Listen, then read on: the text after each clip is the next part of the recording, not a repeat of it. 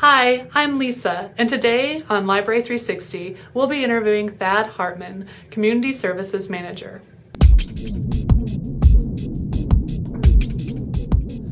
Welcome to the program, Thad. Well, thanks for having me. Can you tell me what a Community Services Manager does?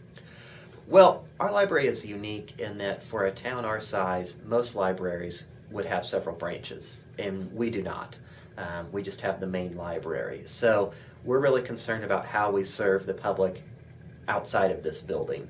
And so that's really what my job is, is looking at how we serve people outside of this building who maybe don't live very close to the library or they don't have transportation or they uh, have work schedules that don't allow them to come here. So how can we help these people and get our services out to the people um, out in the county? And what's a traditional means of which we've been doing that for years? Well, one of the largest ways we reach uh, people out in the county would be with our bookmobile service. Um, we have three bookmobiles, two of which go all over the community um, to several different stops. And then we have a third, the Adventure Mobile, which goes to elementary schools during the school year, and then also during the summer um, goes to day camps and daycares and uh, uh, other uh, community centers. Right now, we have a a new service that we call Library at Work. Um, we've got it going with one um, organization, that's Stormont Vail Hospital. And how it works is staff at Stormont Vail are able to request materials and select Stormont Vail as a pickup location. And then we deliver materials to Stormont Vail five days a week. And then they get their uh, reserves through their interoffice mail at Stormont Vail. So they don't have to come to the library. They can just request whatever they want and get it delivered directly to their office or wherever they work. We're also looking at uh, ways some of the new technology can help us.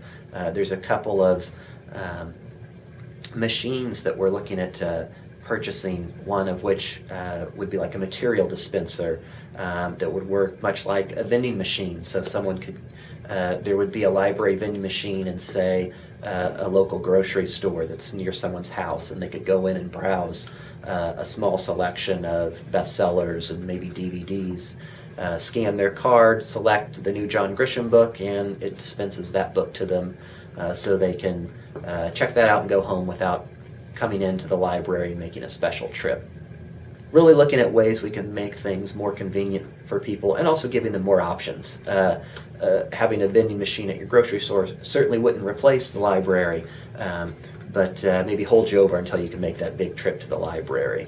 Yeah, people are going to see the library in more places around the community in the coming years. Exactly. Sounds exactly. like you have a huge undertaking. How many staff does it take to deploy the library to the county? Well, we have um, 21 staff who are dedicated to Bookmobile. There's also 10 staff members uh, in Red Carpet.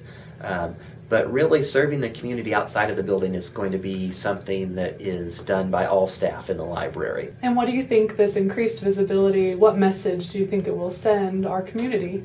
Well, I think the thing we want to say is that we want uh, service equity. We want no matter where you live, no matter who you are, you can um, take part in what the library has to offer. We will get our services out to you so that you can utilize the library uh, just like anyone else.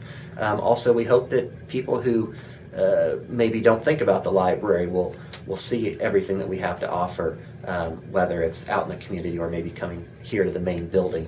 Um, but we, we just want uh, we want everybody in the community to use the library and, and see what we've got to offer. And so we're just trying to get everybody to be a library a library card holder. And a supplement to that is the digital branch where you can find this video. And I hope you've enjoyed 360.